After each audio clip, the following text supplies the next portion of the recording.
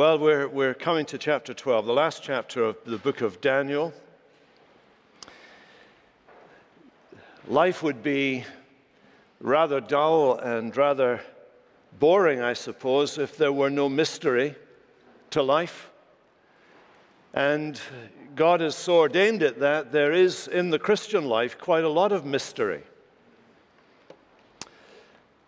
What I find today, and, and there is a certain degree of pressure on, on preachers, is that we, we take a kind of utilitarian approach to the Bible. We, what we really want is for, for us to be told from the Bible what we should do. But tomorrow morning when I go to work, what do I do?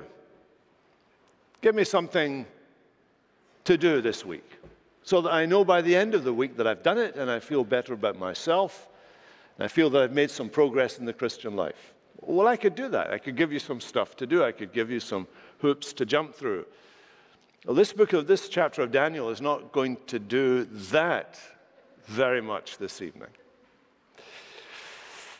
No, this, uh, this uh, vision of Daniel's, which really begins in chapter 10, uh, is one cohesive last vision that was given to him himself.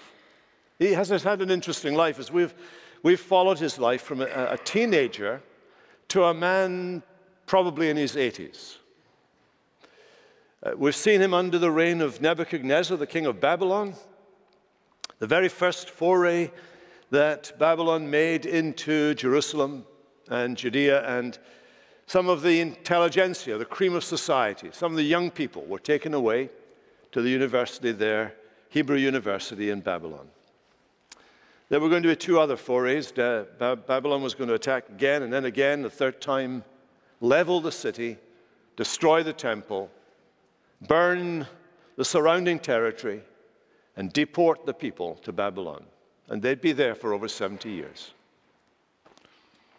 It's not a good period in the history of God's people, Israel.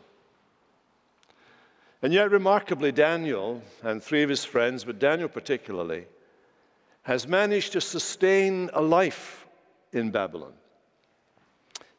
Right, really at the very heart of the Babylonian civil service. Throughout the period of the Babylonian kingdom, Following the death of Nebuchadnezzar, the other kings that followed up to the very last one, a man called Belshazzar. Daniel's been silently serving God, doing what he had to do. And there have been crises during that period. King Nebuchadnezzar had a very bad dream right at the very beginning. It's chapter 2 in, in Daniel's account.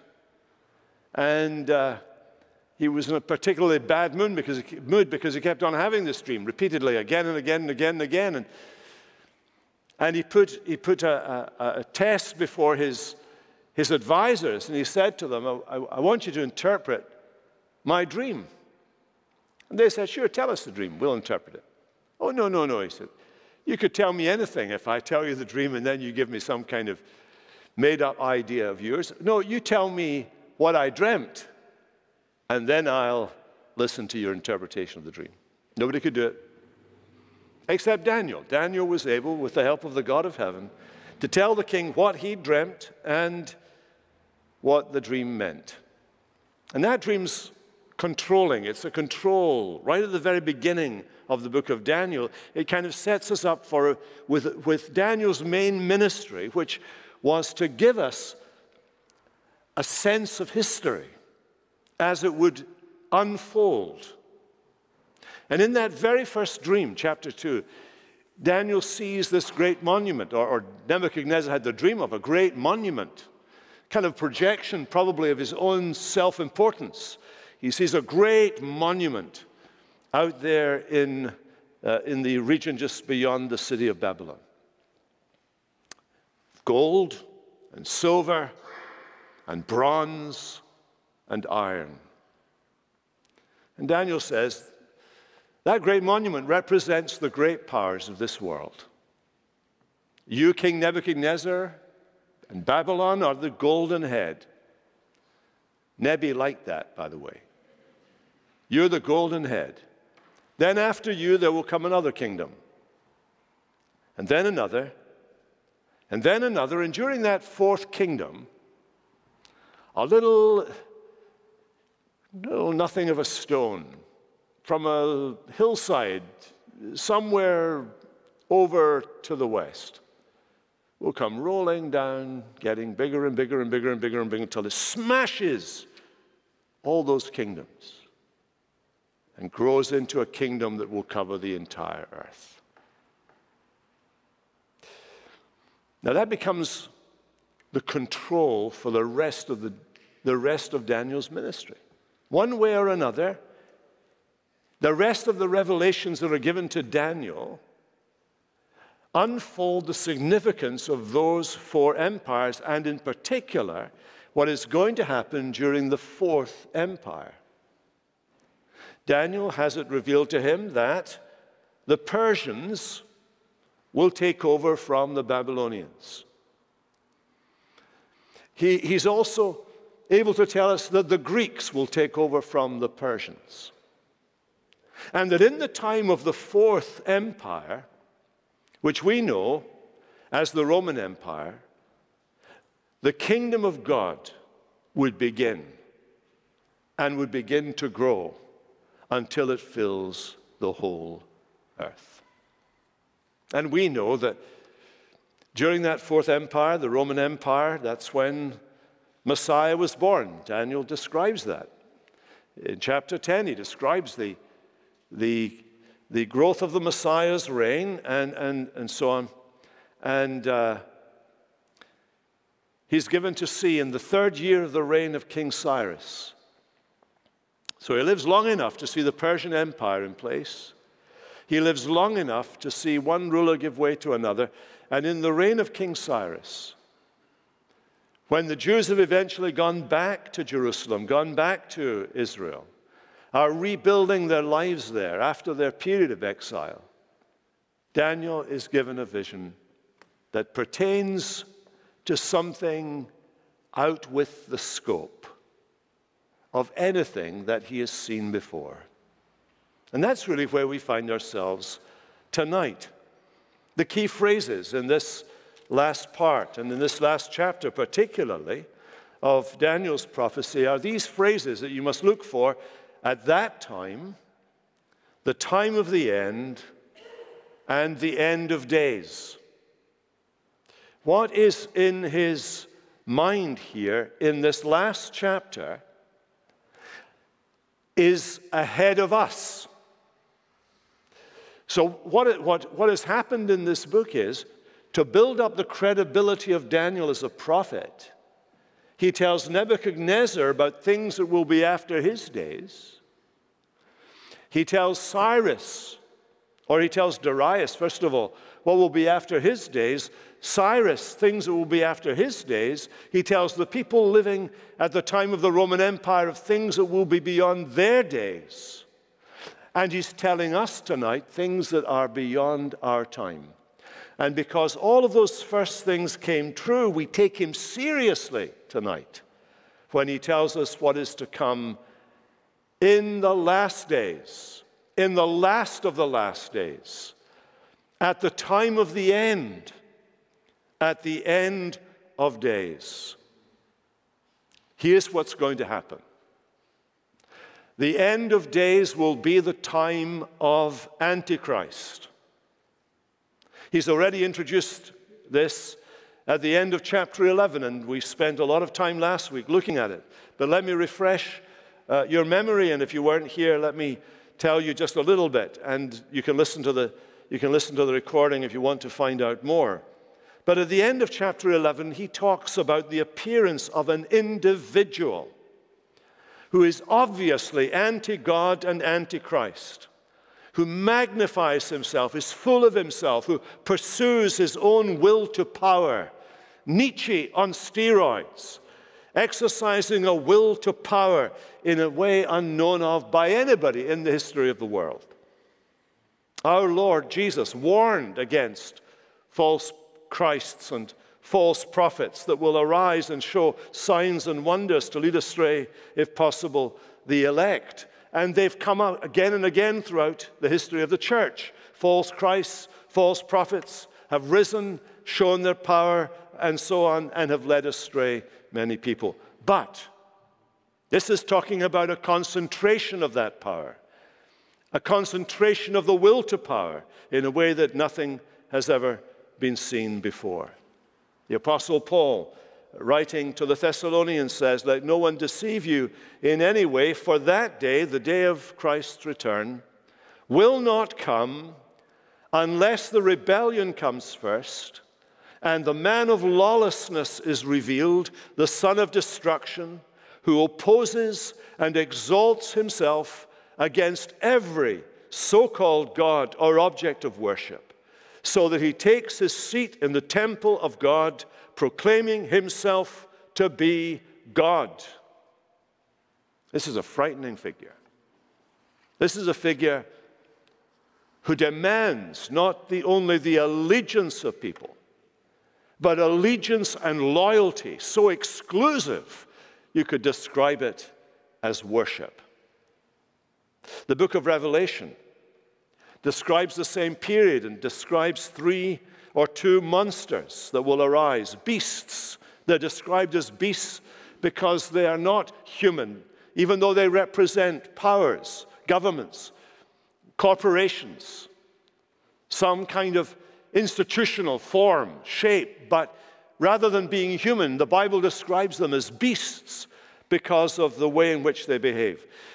And they will make war on the saints, Revelation 13 says. They will achieve wonders, whether they're political or industrial or economic or medically or whatever it may be, they achieve wonders. And in doing so, they deceive many into their service and worship. One beast bears witness to the other beast, and both, both beasts bear witness to the dragon, who is that old serpent, the devil and Satan, who has been cast out of heaven, who will be cast out of heaven for his last wild rampage on the earth. A holy, an evil trinity, an e, a trinity of evil in opposition to the Holy Trinity. At the end of days will be the time of Antichrist. At the end of days will be the time of tribulation.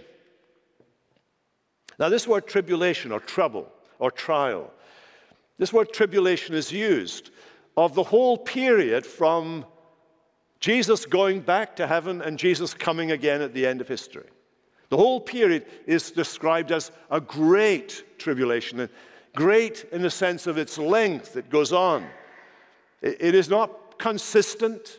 There are sporadic outbursts of particular distress, periods of peace and calm, but outbursts of evil.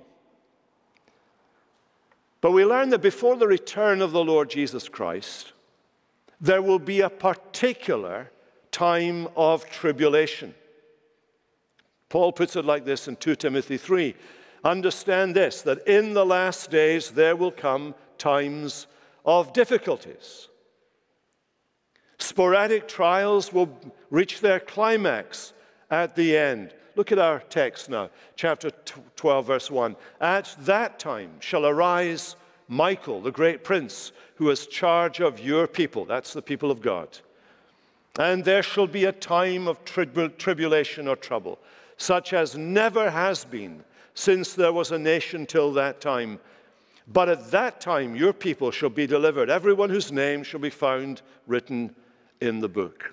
A terrible time, but the people of God are assured of God's protection, specifically through the work of Michael. Michael, whose name means who is like God. He's described as one of the chief princes. He's described as an archangel in Jude chapter 9 or verse 9. He is the great prince, the guardian angel of the people of God, the church. He's called your prince in Daniel chapter 10. He's the one who watches over your people, that is, the people of God. His job is to bring deliverance to all those, do you notice, whose names are written in the book of life. That is, every believer chosen from before the foundation of the world, their name recorded in the book of life, and brought home into that life ultimately in the presence of God. The whole church of God and every believer in it owes a lot to the work of this champion of ours. In the New Testament, there are two explicit mentions of Michael. In Jude verse 9, we read this When the archangel Michael, contending with the devil, was disputing about the body of Moses, he did not presume to pronounce a blasphemous judgment, but said, The Lord rebuke you. In other words, Michael does not underestimate the power of Satan. He did not presume to underestimate Satan's perversion of the danger of engaging him. And in this story, where uh, Michael is the guardian of the people of God, and especially the guardian of them right up until the day of resurrection, is mentioned in a, a book, uh, uh, a, a, an apocryphal book of the Bible that tells stories that were familiar to the Jewish people about the assumption of Moses into heaven. Satan claims the body of Moses, and Michael defends Moses. The final reference to Michael is found in Revelation chapter 12. Let me read this to you. There arose war in heaven. Michael and his angels were fighting against the dragon. The dragon and his angels fought back, but he was defeated, and there was no longer any place for them in heaven, and the great dragon was thrown down, that ancient serpent who is called the devil and Satan, the deceiver of the whole world. He was thrown down to the earth, and his angels were thrown down with him. And I heard a loud voice in heaven saying, Now the salvation and the power and the kingdom of our God and the authority of his Christ have come down, for the accuser of our brothers has been thrown down, who accuses them day and night before God. And there in Revelation 13, Michael is the leader of the heavenly host. He's making war on the dragon and his angels in the invisible realm, in the heavenly places. He is the champion of God's people. He's fighting our battles in the heavenly realms for us. He may even be the great angel who, when the dragon is thrown down, binds him for a thousand years, restrains him at this present moment until that very last period at the end of days where he is released for a short time to manifest what he can do. These references to angels, to Michael, remind us that we don't live in an impersonal universe. We live in a universe bristling with visible and invisible life. Is there life out there? Yes, there is. There are whole hierarchies of angels out there. God's providence is not simply the manipulation of cosmic forces, it is the very personal work of angels that, whose task it is to help the people of God. Listen to this promise from Psalm 91 He will command His angels concerning you to guard you in all your ways. On their hands they will bear you up, lest you strike your foot against a stone. Jesus, in his humanity, claimed that promise for himself, and so can we. Throughout the history of the church, then, from Eden to the New Jerusalem, there have been innumerable rescues and helps delivered to her by these eager servants of God. So, as Daniel gets this vision, you see, uh, this, the revealer sums up the history of God's people. He points him to the future he says there's going to be this final period of trouble or tribulation for God's people. It's a feature of all of our lives. Jesus said, In this world you will have trouble, you will have tribulation. But here it's a time of distress such as was never known. Worse than Israel faced under Egypt. Worse than the Jews would face under Antiochus Epiphanes, three or 300 years before Jesus. Our Lord warned very strongly that the days immediately prior to his second coming would be a terrible time for the church and the world. Listen to Jesus for a moment. In those days, there will be such tribulation as has not been since the beginning of creation. He's echoing Daniel here. Until now and never will be. And if the Lord had not cut short the days, no human being would be saved. But for the sake of the elect whom he chose, the days, he shortened the days. And then, if anyone says to you, Look, here is Christ, or Look, there he is, do not believe it. False Christs and false prophets will arise and perform signs and wonders to lead astray, if possible, the elect. So be on guard. Jesus said, I've told you this beforehand. You see, the arrival of the kingdom of God is not going to be accomplished by the church getting stronger and stronger, more visible, more powerful, more able to maneuver the levers of power within the world's structures. By the time the end comes, the church will be slain, lying slain on the ground, the book of Revelation describes. Like the Messiah himself. It is by the defeat of the church that Satan will finally be defeated. That's part of the mystery. In Daniel, the latter day opponent of God and his church will persecute the saints because of their covenant loyalty to God. Some will apostatize, they'll leave the faith. Those who remain loyal will be try, will, people will try to get them to renounce their loyalty to God. Book of Revelation picks this language up. In chapter 7, only a remnant of the church will be sealed with the seal of the living God to remain faithful. The Great Tribulation consists in pressure being brought to bear upon the church and its witness from seductive teaching within and overt persecution from without. Back in chapter 7, uh, it talks about this period of tribulation, and it says that the church will be shattered at that time. When Jesus returns, he says this in one place Will he find faith on earth? It's a haunting question, that. The church will lie shattered. In Revelation chapter 8, uh, chapter 6, verse 8, when he opened the fifth seal, I saw under the altar the souls of those who'd been slain for the word of God and for the witness they had borne. a time of tribulation.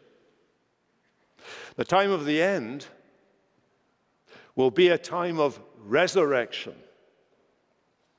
Tribulation tends to purify the people of God, to confirm them in their faith, to separate them clearly from that which is not genuine. Daniel has described the blessedness of those whose names were written in the book of life. The main point is that none of the elect will be lost. Their names are recorded by God and they are sealed and kept in heaven. But the time of trouble, we're told, will be brought to an end for them by the resurrection of the dead. Look what it says Many of those who sleep in the dust of the earth shall awake, some to everlasting life, and some to shame and everlasting contempt. For those who have lost their lives in the great tribulation, there will be a great resurrection. There's a universal acknowledgement of this in the New Testament. Jesus spoke about it. An hour is coming, he said, when all who are in the tombs will hear his voice and come out. Those who have done good to the resurrection of life, and those who have done evil to the resurrection of judgment. And although resurrection is not as clear in the Old Testament, it is not absent in the Old Testament. And here is its greatest and clearest proclamation by Daniel. It will be a time of resurrection. When Christ returns, we shall be raised with him and transformed and made like him in resurrection bodies. When the trumpet of the Lord sounds and the voice of the angel is heard, and the Lord Jesus descends and is seen visibly by every human being who has lived at any time in the history of humanity, everywhere in the world, all at once, in one decisive revelation. We, brothers and sisters, will be changed. And what is mortal will put on immortality, and what is corruptible will put on incorruption. And we shall be changed in a moment, in the twinkling of an eye, at the last trumpet. That's our hope resurrection. The last, the end of days, will thirdly be a time of consummation. Daniel goes on to describe the blessedness of those whose names are written in the book. Those who are wise shall shine like the brightness of the sky above. Those who turn many to righteousness, like the stars forever and ever. They will be like the sun on display, splendor of the stars in the night sky. They will be forever recognized, remembered, celebrated. The people of God. Who are they? In the book of Daniel, they are called the saints of the Most High in chapter 7. They're the ones who reflect the glory of the one like the Son of Man, to whom is given kingdom and power and authority, and they will be changed into his likeness. John the Apostle picks this up. We all, with unveiled face, beholding the glory of the Lord, are right now being transformed into the same image from one degree of glory into another. This comes from the Lord who is the Spirit. That's what's happening now. There's, a, there's an inner transformation going on. But people looking on the outside still see the old wrinkles and they see the old gray hair and they see the balding pats and they see the. Uh, the diminution of our earthly powers, they look at us and they don't see anyone different from they are.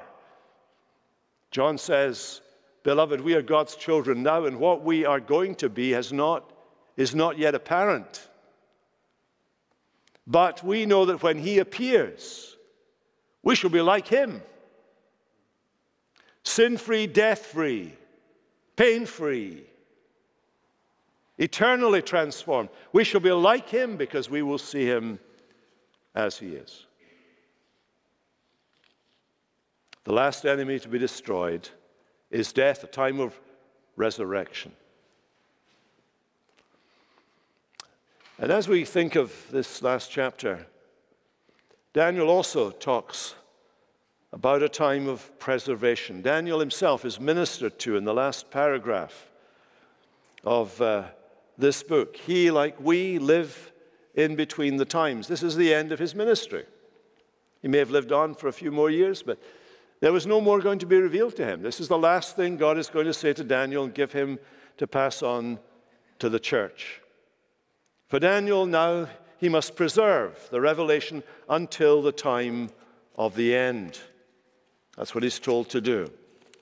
Go your way, Daniel. The words are shut up and sealed until the time of the end. There is a mystery in this chapter, a mystery that we will not understand until the people are living at that very time. Then pennies will drop in the minds of God's people, which is why we should be studying Daniel.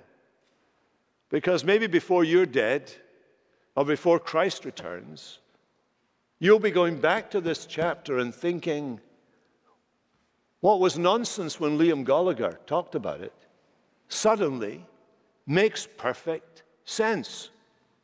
That's what's being said here. The words are shut up and sealed until the time of the end. There's a kind of final, finality there to the parting as a man clothed in linen raises his hands to heaven and says, How long shall it be till the end of these wonders?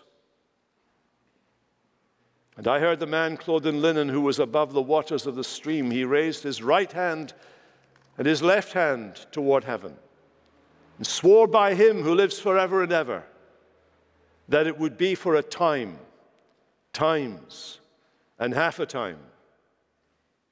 And that when the shattering of the power of the holy people comes to an end, all these things would be finished. Back in chapter 7, verse 25, We read this He shall speak about, about Antichrist. He will speak words against the Most High. He will wear out the saints of the Most High. He shall think to change the times and the law. And this will be given into his hand, that is Antichrist's hand, for a time, times, and half a time. You want me to tell you exactly what that means? I'm not going to. God made the world in seven days. This is half a half a week isn't it? And uh, the language denotes a period of time that is shorter than the week. Now, we don't know, uh, we don't know what, how much time this is, but, but it's a time that's determined, isn't it, by God? God knows what this means. He puts it in the language of mystery because he doesn't want people worrying about this for the next 2,000 years, 2,500 years, from Daniel's day to our day. It would not be helpful for us to have had an actual history of events, timetabled details, because we would just ignore chunks of the Bible looking out for those things. So it's left in this mysterious way. But it makes sense when it comes. We know that because when you read the Old Testament and it's talking about the coming of the Messiah, it didn't make sense until Messiah came, did it? Then it all just, okay, the pennies dropped. That's the way it's going to be at the end.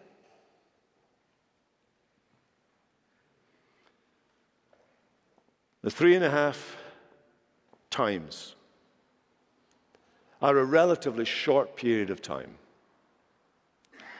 And uh, when that period ends, do you notice what's, what, what brings it to an end? When the shattering of the power of the holy people comes to an end, all these things will be finished.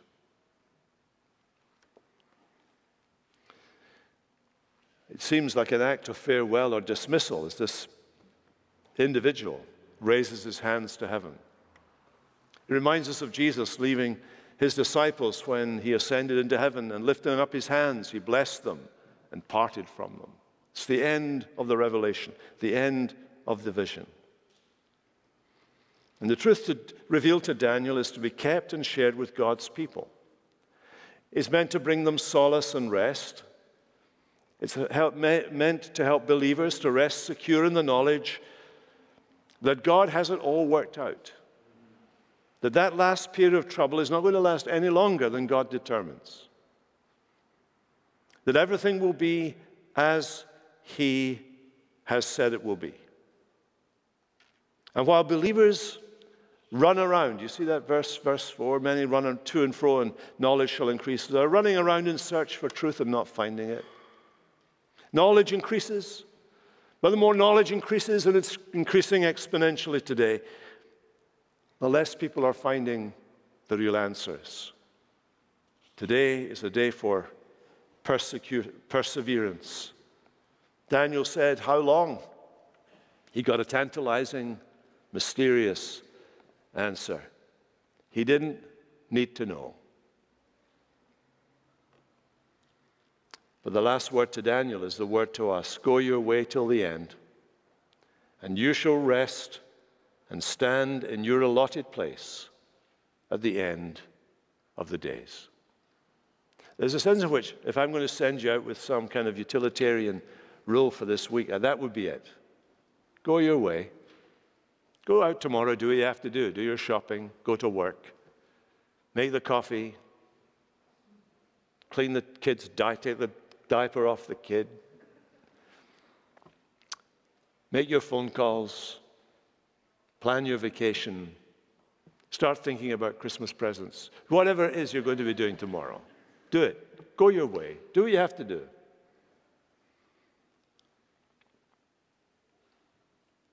And know this that you will stand in your allotted place. Because your name is written in the book, you will stand in your allotted place on the last day, secure secure in the stable love of God for his people.